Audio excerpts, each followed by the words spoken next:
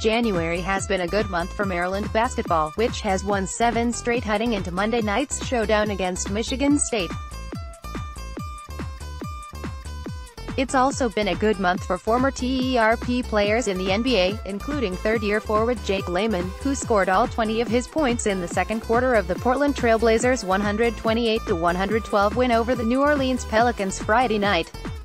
He gets hot and it's just like, there's nothing nobody can do, said Blazers forward Moe Harkless, who returned from injury the same game and replaced Layman in the starting lineup.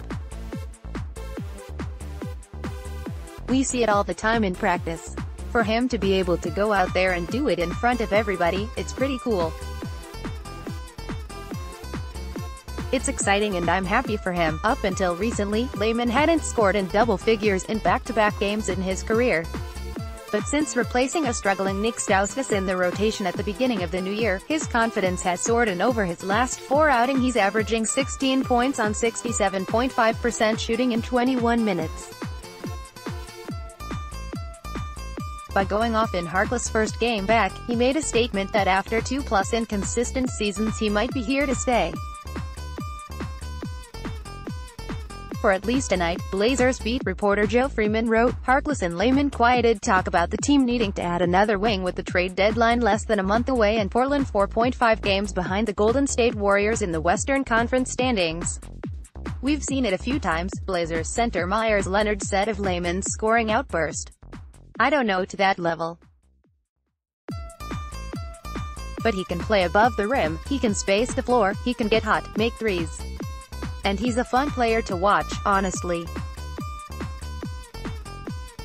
Just as his teammate, it's fun to watch our guy at J. Layman 10 out here giving the world a 101 lesson on Huerter, the NBA rookie leader in three-point shooting, is averaging 18.8 points and 4.3 assists per game over the past 10 days, while Len is averaging 15 points and 7.8 rebounds. They help the Hawks, who are slowly pulling away from the New York Knicks, Chicago Bulls and Cleveland Cavaliers in the cellar of the Eastern Conference, beat both the Philadelphia 76ers and the Oklahoma City Thunder during that stretch. CBS Sports ranked Huerter as the fourth best rookie last week behind top five picks Luka Doncic, DeAndre Ayton and Trae Young.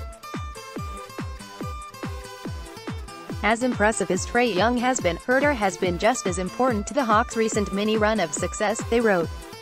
The 6-7 sharpshooter shot a scorching 12 for 21, 57% from beyond the arc in three games this week, while averaging three assists per game. As expected, Huerter has been good this season making threes in spot-up and handoff situations, but this week he displayed a strong ability to hit threes off the dribble as well, utilizing Steph Curry-esque pull-ups and James Harden-esque stepbacks, at Kevin Huerter is keeping that same energy. He had a team-high 1, 8 points. He credits the change of scenery for his success, as he's away from the pressures of being a lottery pick and has teammates and a coaching staff that trusts him to play his game. After years of being confined to the paint, he's taking nearly two threes per game and has made 22 of them. When I hit a couple of threes, it opens up the floor. I can drive then, or I can make a play for somebody else, Len said. I think it was just Atlanta Hawks head coach Lloyd Pierce letting me shoot them. I always knew how to shoot all of my life. Before I had coaches who didn't want me to shoot, they wanted me to play to the rim, rebound, the simple things. Pierce was like, I know you can shoot. If you plan on working on it, then you can shoot it, and it's been working for me.